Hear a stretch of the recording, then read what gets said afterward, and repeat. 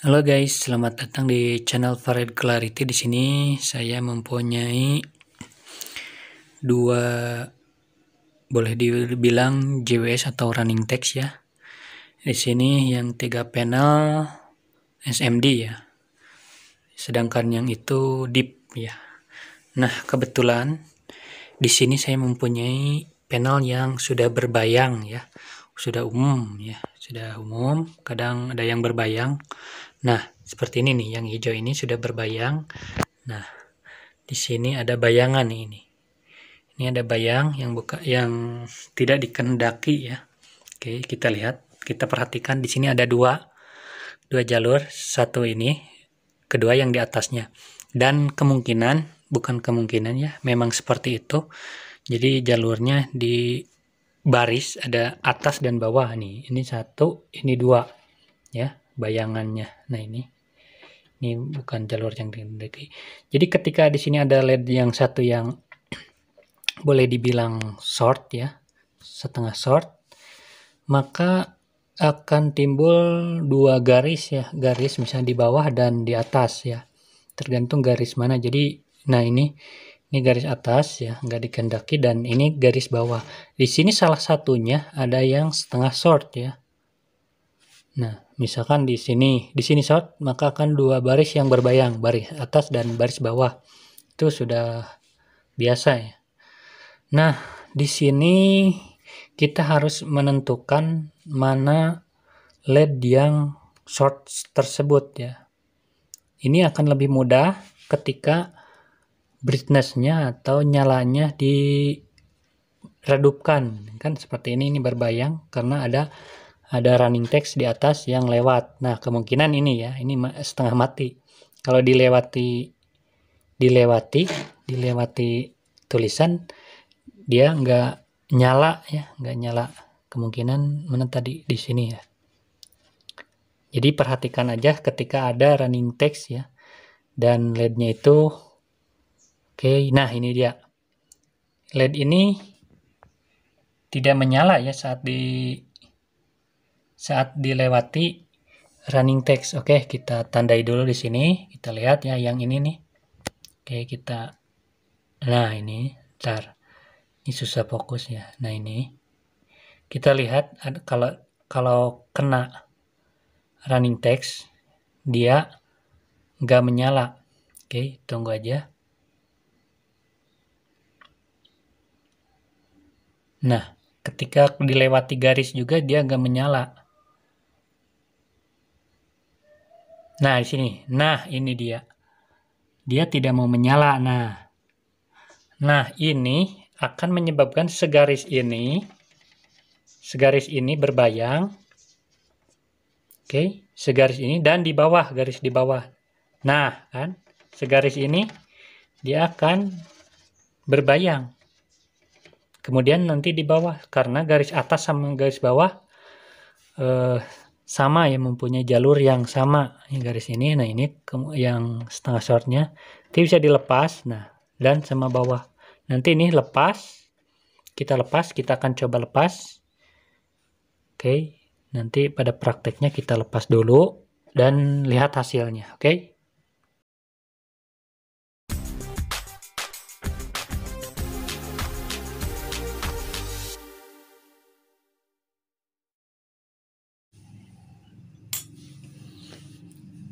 Oke, ini sudah di depan, sudah siap dilepas yang jadi sumber masalahnya. Oke, di sini sudah diketahui ya. Ini yang agak shortnya. Saya akan lepas led ini. Ini yang jadi biang masalah nih. Oke, kita cek dulu ya. Kita lihat dulu. Nah, dia akan menimbulkan garis nih ketika dilewati. Yang ini satu berbeda ya. Kita cek ya di bagian belakangnya ini.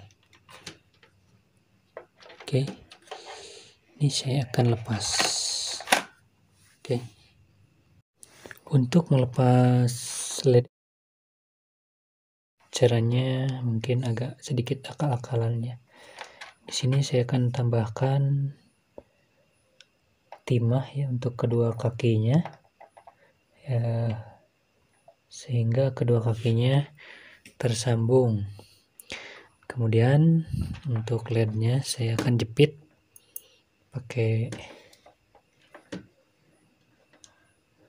pakai tweezer. Oke sambil bagian kedua kakinya di solder ya lalu ditarik.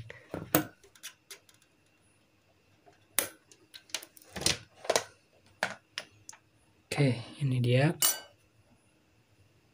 Lednya dan kita akan coba.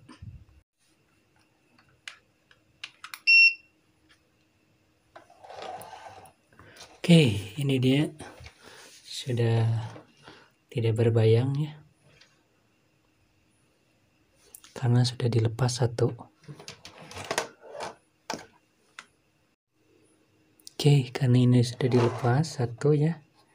Ini sudah dilepas sekarang sudah ada masih ada sedikit karena ini dilepas ya. Mungkin ada di bagian.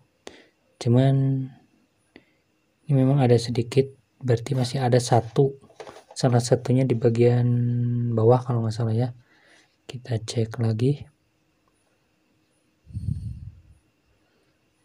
Oke ini sudah lewat tapi tidak berbayang. Nah kemungkinan di bagian bawah nih masih ada sedikit berbayang walaupun udah dilepas satu. Kemungkinan di bagian bawah kita cek di running text yang tampil di bagian bawah. Oke ini belum ada. Sudah tanpa bayang. Nah ini kita cek. Nah ini ada kedip-kedip. Oke. Kita lihat, kita perhatikan bagian mana yang berkedip dan ini lebih ekstrim lagi ya ini di brightnessnya di dibuat sangat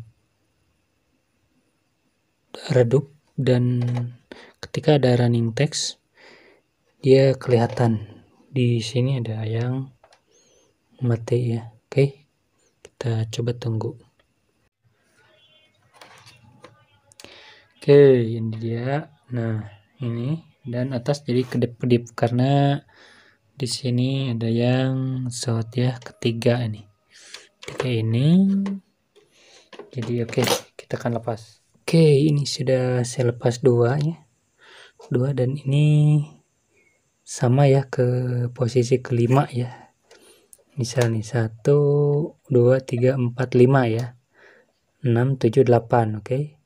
8 ini 8 1 2 3 4 5 nah jadi ini 5 dari atas dan ini 5 dari tengah ya. Jadi ini 8 8 jadi ini kelima ini kelima.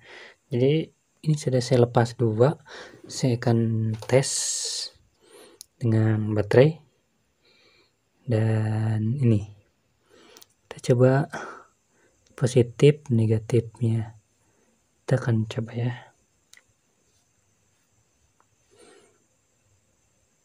Nah, cuman ada berklip kecil. Nah, ini udah setengah short. Oke, satu dan ini yang kedua. Yang kedua, oke, kita cek yang kedua. Dan ini masih nyala. Cuman ini masih eh, apa? mengganggu ya. Agak setengah short juga. Oke, kita untuk lebih jelasnya. Oke, saya akan nyalakan ya saya akan coba nyalakan oke ini dia.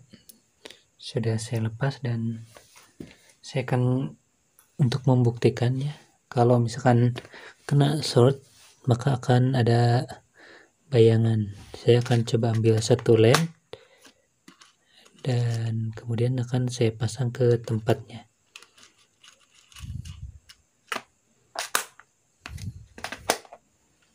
Baiklah, kecerahan sudah saya turunkan dan saya akan coba mempraktekkan ya untuk melihat ada bayangan atau tidak. Di sini sudah ada saya siapkan LED dan polaritasnya akan kita balik dulu ya. Kita balik dan eh, posisinya kita coba ya. Kita pasang ke sini dengan polaritas yang kebalik. Nah kalau polaritas terbalik dia akan mempunyai bayangan ya. Ini dia ini ada bayangan. Oke seperti tadi. Di sini ada bayangan ini ada bayangan. Nah ini ada bayangan oke. Pokoknya ketika ada satu led yang short seperti ini misalnya ini short gak menyala tapi short. Sini ada kan ada bayangan seperti ini. Ini sangat mengganggu karena menyala di tempat yang tidak diinginkan oke. Okay?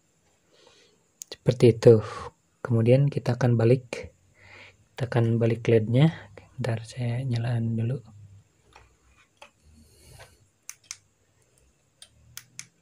Oke saya akan balik. Saya akan cabut dan polaritasnya saya akan balik. Nah dibalik ya polaritasnya dan saya masukkan. Oke ini udah cocok. Ini menyala sesuai. Oke nah ini dia. Ini menyala. Sesuai. Sesuai peruntukannya dan yang garis tadi sudah tidak ada. Garis bayangan-bayangan sudah tidak ada. Ini sudah bekerja sesuai semestinya oke? Okay? seperti itulah informasinya. Oke okay, sini sudah jadi videonya LED-nya sudah saya ganti dan kita lihat mana yang diganti dan ini dia ini LED yang diganti ya. Ini LED pengganti. Dan kemudian satu lagi ini dia. Ini LED pengganti dan ini LED pengganti. Oke kita lihat dari kejauhan dan kita matikan lampunya.